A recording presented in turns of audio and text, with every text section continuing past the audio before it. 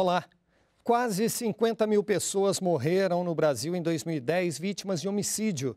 No total, 70% das vítimas eram negras e mais da metade tinham entre 15 e 29 anos.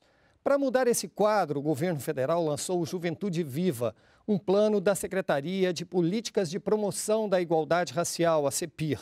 O programa começa por Alagoas, estado com maior taxa de homicídio do país. A segurança dos jovens é o tema do NBR Entrevista de hoje.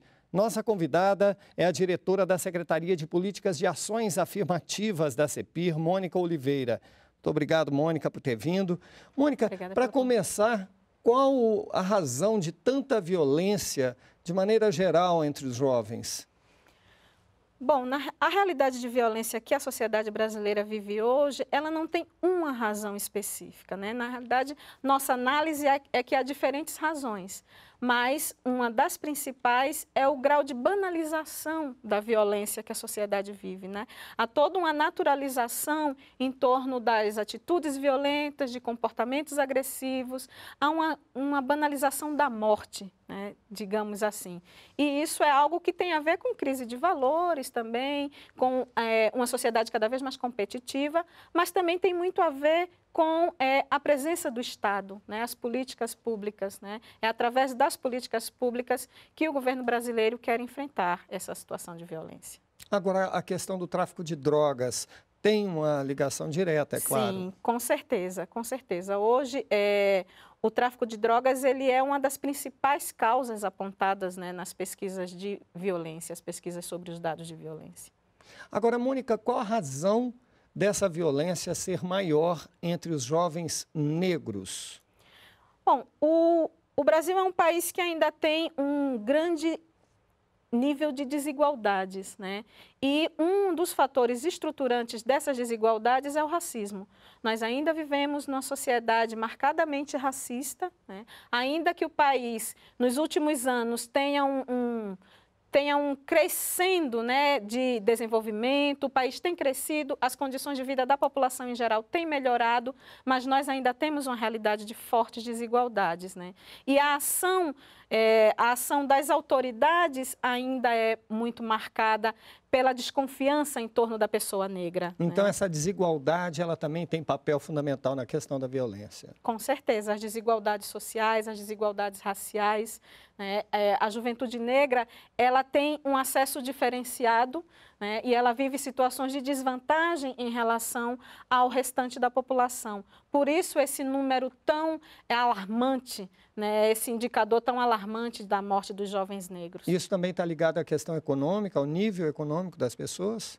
Claro, quando nós falamos de desigualdade, nós estamos falando de desigualdade no acesso a direitos, de desigualdades sociais e econômicas, claro, no acesso à educação, no acesso a um emprego de qualidade. Né? Então, diferentes exemplos de desigualdades, mas com um fundo econômico muito forte. Né?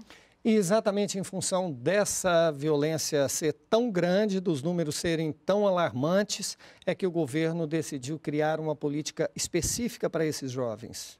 Exatamente. Né? O Plano Juventude Viva, que é, inicialmente ele foi chamado de Agenda de Enfrentamento à Violência contra a Juventude Negra, ele foi criado no âmbito do Fórum Direitos e Cidadania, que é um dos fóruns né, de gestão do governo Dilma. Né? E a, a presidenta Dilma estabeleceu esse, essa temática como uma das prioridades do Fórum Direitos e Cidadania. Né? Então, o enfrentamento à violência contra a juventude negra é considerado uma prioridade porque, como nós já colocamos antes, os números são alarmantes, né? De cada 10 pessoas Sim. mortas, 7 são jovens negros. E isso não é um dado qualquer. Né? Então, o Estado brasileiro definiu por enfrentar essa situação, né? E a partir disso surge a proposta do Plano Juventude Viva, que é um plano interministerial.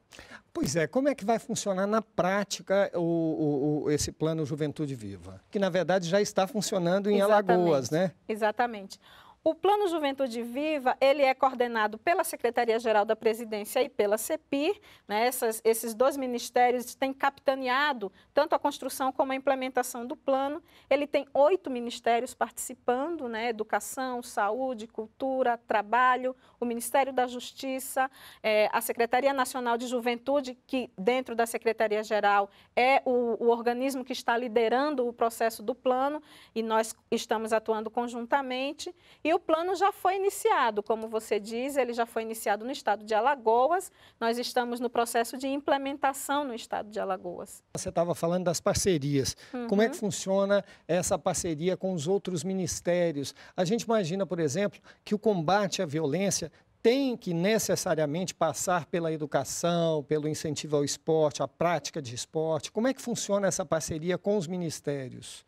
Bom, esse conjunto de oito ministérios foi é, convocado a incluir ações, programas, projetos dentro de suas áreas temáticas, incluir ações voltadas para a juventude e mais especialmente para a juventude negra. Então, cada um dos ministérios está incorporando programas e projetos e está disponibilizando um volume de recursos, né, através desses programas para compor as ações do plano. O plano parte de uma concepção de que não se supera a situação de violência apenas com repressão ou apenas com políticas de segurança pública.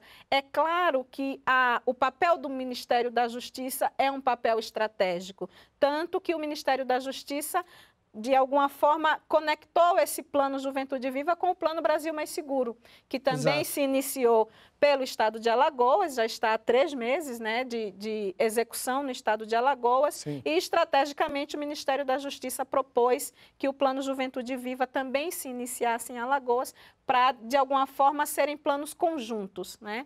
mas é, no, nossa compreensão enquanto governo federal é de que, para além das ações de segurança pública, é preciso trabalhar no campo da educação, no campo do acesso ao mercado de trabalho, no campo da saúde. A violência é um problema de saúde pública no Brasil. A violência custa bilhões ao país. Né? Atuar no sentido de prevenção é uma forma de otimizar recursos e é uma forma de trabalhar de maneira mais efetiva para a superação. Né? Então, há uma composição aí de ações de cultura para oferecer aos jovens ações de inclusão social, de inclusão econômica, de inclusão na educação, né? de qualificação, não só qualificação do ponto de vista da educação formal, mas também do ponto de vista da, da qualificação profissional, para que o jovem acesse empregos. Né?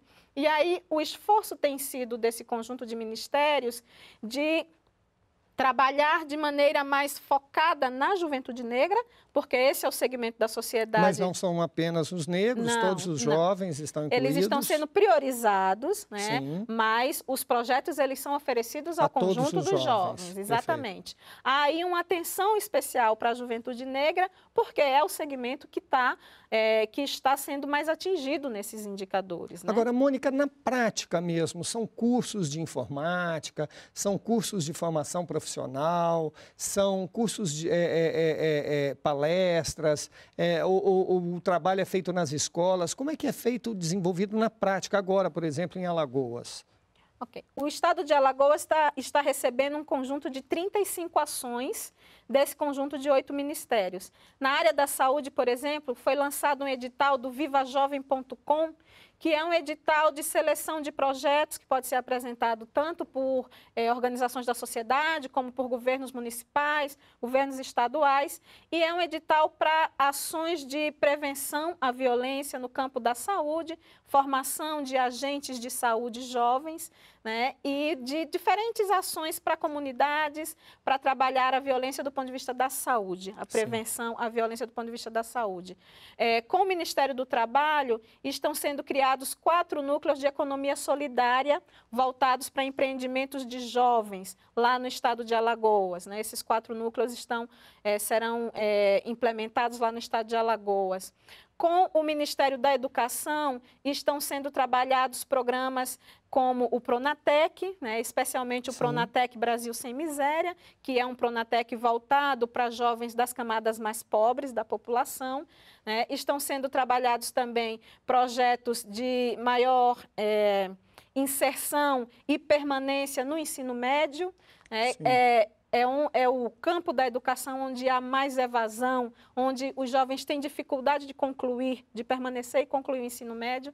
Então, tem ações voltadas para essa modalidade na educação. É, em relação à justiça, além do Plano Brasil Mais Seguro, tem ações de revisão, por exemplo, da matriz curricular de formação de profissionais Ou seja, de segurança. é uma ação conjunta de Exatamente. todos. Existe um local em que as pessoas interessadas possam para que as pessoas interessadas pro, possam procurar para tentar se inscrever e participar? Bom, há, há, um hot site já do, do Plano Juventude Viva, que está é, hospedado no site da Secretaria Nacional de Juventude, que é o www.juventude.gov.br barra Juventude Viva. E nesse hot site nós já temos várias informações sobre o plano. No estado de Alagoas, a secretaria que está responsável pelo plano é a Secretaria da Mulher, da Cidadania e dos Direitos Humanos. Então as pessoas podem acessar essa secretaria para se melhor sobre o plano. O plano está no momento inicial. Né? Sim, nós estamos... são várias fases. Exatamente. a tá primeira fase, fase agora em Alagoas. Hum. Quando é que você acha que vai chegar no país todo? Quando é que começa a se espalhar pelo Brasil? Bom, a previsão é que em novembro o plano se espraie mais pelo país afora. Né? É, o plano deve atingir 132 municípios no país. O critério de escolha desses municípios é porque esses 132 municípios concentram 70% das mortes né, a partir desse dado de 2010, que é o dado que vocês utilizaram no início do programa. Então, dentro desses 132 municípios estão as 27 capitais do país, né, e o critério para a escolha de Alagoas foi porque Alagoas é onde há os, os piores índices, né, do ponto de vista dos homicídios e também da, do ponto de vista do, dos homicídios contra jovens negros. Há uma razão específica para isso em Alagoas? Bom, nós estamos trabalhando com os gestores do estado de Alagoas um diagnóstico mais apurado sobre isso, né? Sobre quais são as causas, o que, que gera essa situação de indicadores tão alarmantes. Né? É claro que há uma forte presença do tráfico de drogas, né? Há também um, algumas análises que apontam a existência de grupos de grupos de extermínio, né, e que esses grupos Milícias. atuam exatamente, e que esses grupos focam especialmente os jovens e os jovens negros, né. É claro que há um, um, recorte racial forte aí, né, algo que nós costumamos chamar de racismo institucional, né, que é justamente um, uma suspeição sobre o jovem negro diferenciada em relação a outros Ou jovens. Ou seja, é preciso né? também uma, uma, uma, mudança de conceitos, de mentalidades. Exatamente. Por isso há uma ação de mudança na formação dos policiais civis e militares e dos outros profissionais operadores do direito. Até né? para que eles tenham um tratamento diferenciado com os jovens. Exatamente é até para que os jovens sejam tratados de maneira respeitosa, todos os jovens, jovens brancos e jovens negros, né? Tá certo. Que o respeito seja garantido para todos, pra né? Todos. Exatamente. Mônica, muito obrigado pela presença e até uma próxima oportunidade. Obrigada a vocês, nós estamos sempre à disposição. Outras informações na página da CEPIR. Para rever essa entrevista, basta entrar no endereço eletrônico que aparece agora aí na sua tela Obrigado pela companhia e a gente se vê no próximo programa. Continue com a gente aqui na NBR, a TV do Governo Federal.